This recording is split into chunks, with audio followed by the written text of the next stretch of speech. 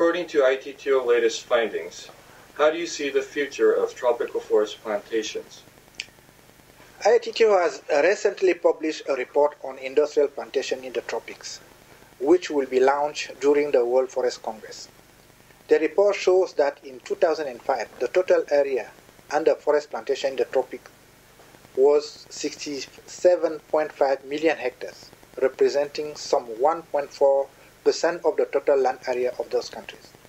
Much of the development in plantation has occurred in Asia Pacific region, which account for 54 million hectares, followed by Latin America and Caribbean, 8.8 million hectares, and tropical Africa, only 4.6 million hectares.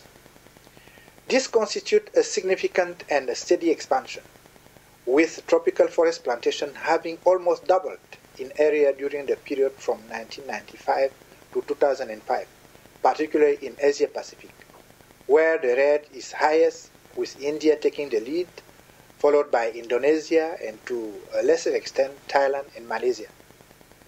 The forest plantation estates in Asia Pacific are mainly composed of eucalyptus, laurel wood, teak, and acacia.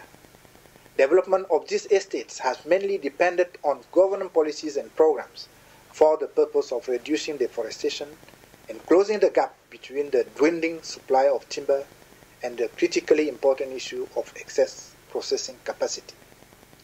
In Latin America and Caribbean, the forest plantation industry underwent significant structural adjustment and consolidation with the view to increasing export. The most commonly planted tree species in the region are eucalyptus and pines, with generally very high yield. Brazil is taking the lead followed to a lesser extent by Venezuela, Peru, and Cuba. Pulpwood represent the bulk of tropical forest plantation in the region. In Africa, an unfavorable investment climate has significantly undermined the potential for forest plantation development. Nigeria, Sudan, Madagascar, and Senegal has been at the forefront of this effort to establish forest plantation, mainly to combat desertification. The situation is changing rapidly in some part of Western Africa, where Ghana and Cote d'Ivoire are engaged in ambitious plantation programs. Ghana, in addition to its uh, ordinary programs, has recently launched a program to plant 24 million trees, aiming at restoring its rainforests and soaking up carbon dioxide. Apart from the Republic of Congo, where some companies are still involved in cloning planting of eucalyptus urophylla, and where about 70,000 hectares of plantation has been established, Central Africa is still lagging far behind as far as forest plantation are concerned. The general trend in forest plantation development in tropics looks good. Tropical countries have a comparative advantage in terms of both growth rates and labor costs for establishment, silviculture operation, and harvesting. There are many opportunities. The biggest share of international tropical timber trade is in value added product derived mainly from plantation, and this trend is set to continue. There are also new challenges where tropical forest plantation can play a critical role.